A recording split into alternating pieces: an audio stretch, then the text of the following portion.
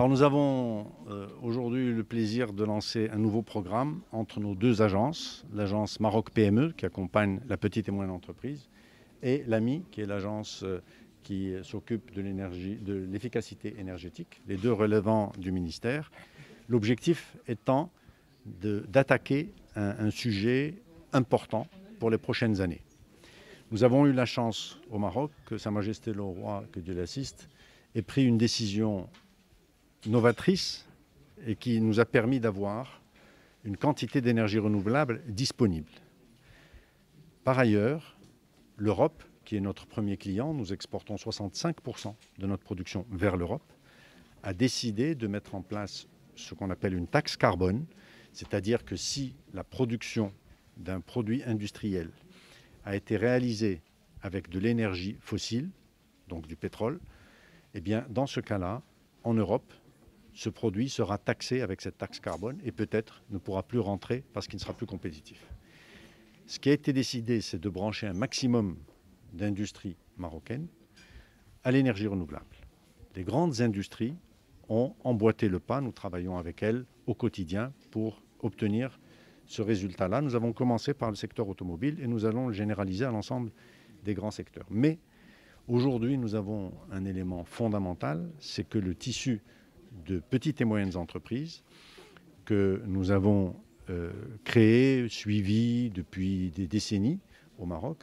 et qui tiennent à cœur à Sa Majesté le Roi parce qu'elles créent beaucoup d'emplois, parce qu'elles aident le petit porteur à fabriquer son entreprise, à l'auto-entrepreneur, à, la PME de se développer, eh bien, nous avons voulu mettre en place ce programme pour accompagner ces petites et moyennes entreprises de façon à ce que leur production soit décarbonée, c'est-à-dire qu'elle soit faite avec de l'énergie renouvelable et qu'elle puisse rentrer sur les marchés européens sans avoir de blocage de cette taxe carbone. Donc ce projet-là est fondamental et j'invite l'ensemble des petites et moyennes entreprises à s'y intéresser sérieusement parce que ça va leur ouvrir de nouvelles portes de compétitivité et de décarbonation. C'est un terme qu'il va falloir retenir parce qu'à l'avenir, il devient essentiel. Ce programme Tatouer le vert et aujourd'hui, on montre que le lancement de ce programme va répondre aux besoins des entreprises des TPME pour réduire la facture énergétique, pour utiliser les énergies renouvelables, pour faire de l'efficacité énergétique et pour décarboner euh, leur euh, process. Ce programme va permettre d'accompagner ces investissements pour les TPME, pour les PME, pour leur dire aujourd'hui, il y a des outils d'accompagnement pour votre facture énergétique, mais aussi pour décarboner. Et vous pourrez être à tous les niveaux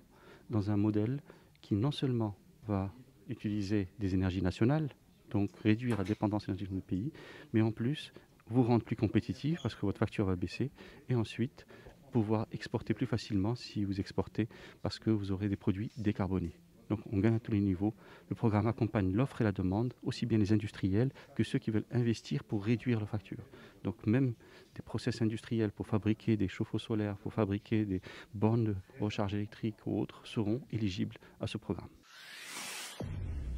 Pour suivre toute l'actualité d'EcoActu.main, inscrivez-vous sur notre chaîne YouTube et rejoignez notre communauté sur Facebook et sur les autres réseaux sociaux.